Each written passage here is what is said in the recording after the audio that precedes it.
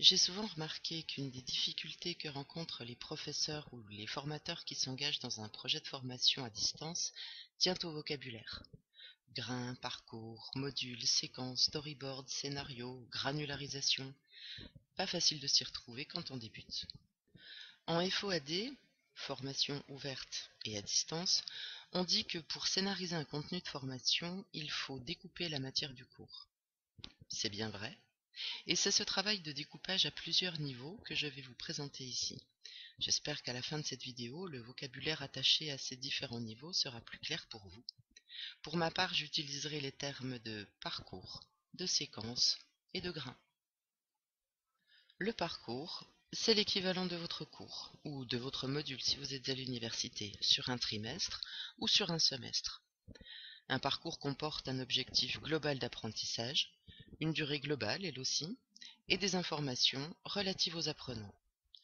On peut le représenter comme un plan qui correspond à notre premier niveau de découpage, le découpage en séquence. La séquence, c'est une partie du parcours.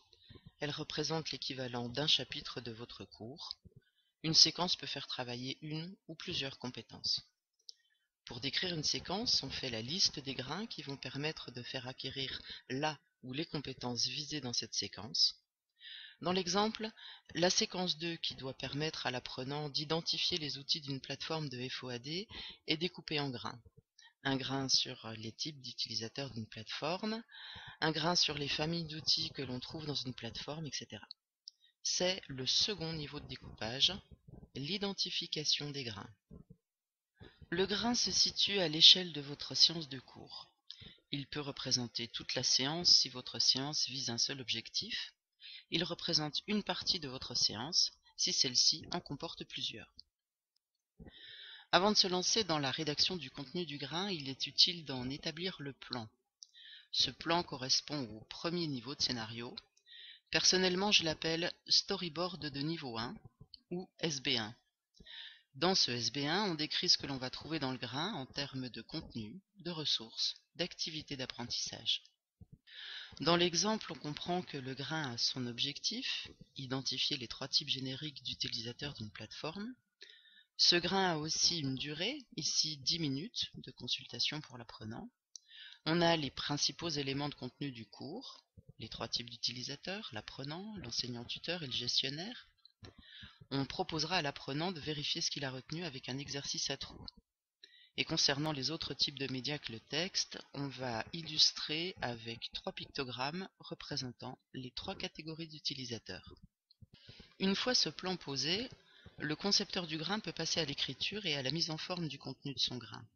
J'appelle ce second niveau de scénario le storyboard de niveau 2. Ce SB2 correspond à la phase de rédaction. Lui aussi présente encore un niveau de découpage plus fin que le plan du SB1.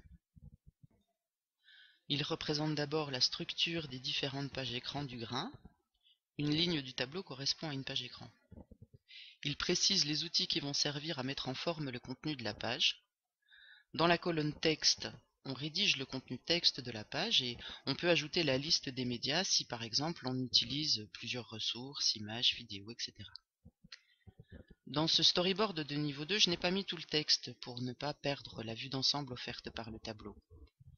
Tous les éléments notés en rouge correspondent à des fichiers annexes au SB2. Les fichiers texte 1 et 2 comprennent l'ensemble du texte de ces pages écran. Même chose pour EXO 1, qui comprend le texte de l'exercice, la consigne, les items, la rétroaction, etc. Les fichiers JPEG sont les images utilisées dans le grain. Lorsque tout est rédigé, on peut avoir une idée de la durée de consultation de chaque page écran. On la note également dans le SB2. Vous avez peut-être remarqué que dans le storyboard de niveau 1, j'avais prévu un texte à trous comme exercice. Or, dans mon SB2, vous notez que j'ai changé d'avis et préféré réaliser un QCM. Cela arrive souvent que l'on modifie des petites choses entre le plan du grain et son écriture effective.